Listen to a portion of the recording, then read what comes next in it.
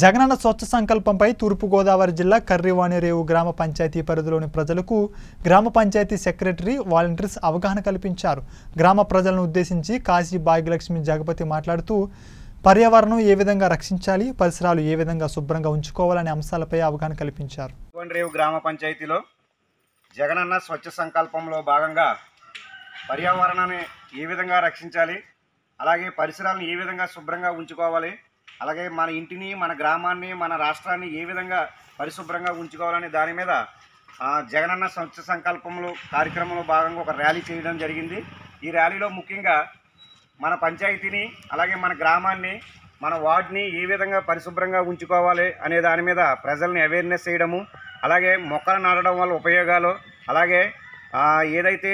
ఈ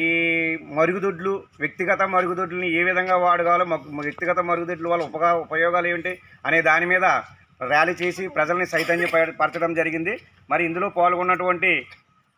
మన గ్రామస్తులకు అలాగే కరివండ్రి గ్రామ పంచాయతీ సెక్రటరీ గారికి సచివాలయ సిబ్బందికి ఏఎన్ఎంకి అలాగే మిగతా వాలంటీర్స్ అందరికీ కూడా నా హృదయపూర్వమైన